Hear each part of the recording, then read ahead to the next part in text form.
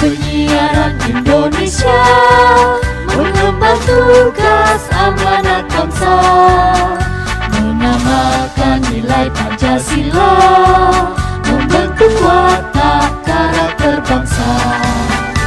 kebebasan untuk berpendapat hak asasi milik masyarakat. Mencerahkan serta akurat seimbang bertanggung jawab. KPI KPI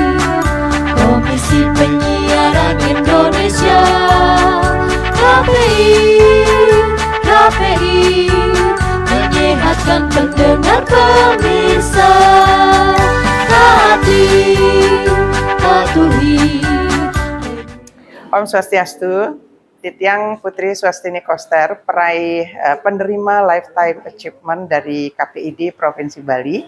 Jadi Titiang punya tugas dan kewajiban untuk mengikuti arahan dari KPID untuk ikut ke lembaga-lembaga penyiaran seperti radio untuk menyampaikan tema-tema atau topik-topik yang ingin disampaikan oleh KPID Provinsi Bali. Kali ini Titiang berada di Radio Global untuk menyampaikan tentang eh, menyoroti tentang Pesta Kesenian Bali. Karena Titiang juga adalah pelaku seni, pernah ikut dari awal Pesta Kesenian Bali eh, menjadi pemain drama, pembawa acara di sana. Jadi paling tidak Titiang bisa menyampaikan apa sih yang harus dilakukan ke depannya untuk lebih meningkatkan kualitas dari ajang eh, bergengsi wadah yang tepat untuk pelestarian seni tradisi budaya Bali itu di Pesta Kesenian Bali. Jadi hal-hal yang murni idenya dari pikiran Titiang Titiang sampaikan bukan untuk eh, kritik semata-mata tetapi itu adalah masukan-masukan yang akan membuat penyelenggaraan ke depan eh, itu benar-benar sampai pada tujuan pertamanya adalah pelestarian keduanya adalah meningkatkan kreativitas sumber daya dari para seniman kita dan yang ketiganya adalah benar-benar eh, seni tradisi Bali tidak hanya selesai di situ saja sehingga Bali berkembang dia dengan segala kreativitas dan inovasinya tetapi tetap berpijak pada tradisinya. Matur suksema, Om Santi Santi Santi Om.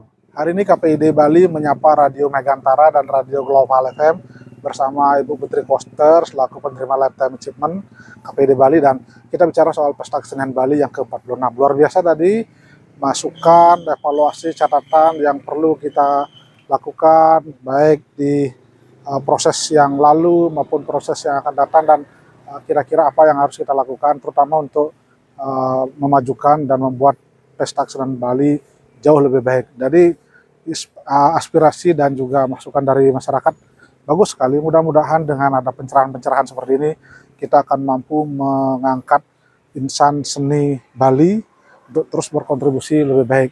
Terima kasih kepada Radio Megantara dan juga Radio Global FM. Jadi luar biasa, siang hari ini memang memberikan manfaat untuk tiang pribadi dan juga masyarakat, terlebih pendengar radio yang tadi mendengarkan. Nah, eh, untuk masyarakat, eh, karena tadi kita bicara soal seni ya, tentang pesta kesenian Bali, jadi seni itu memang harus dinikmati ya, eh, jadi tidak ada eh, hal-hal apa yang membuat eh, kita berpikiran yang eh, tidak tentang pagelaran eh, pesta kesenian Bali.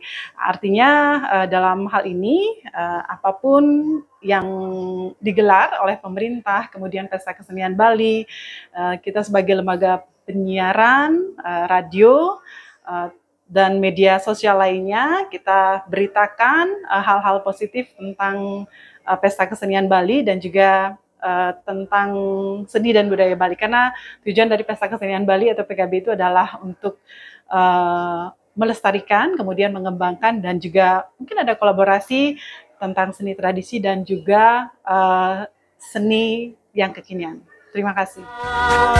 hak asasi milik masyarakat gerakan serta akurat seimbang bertanggung jawab.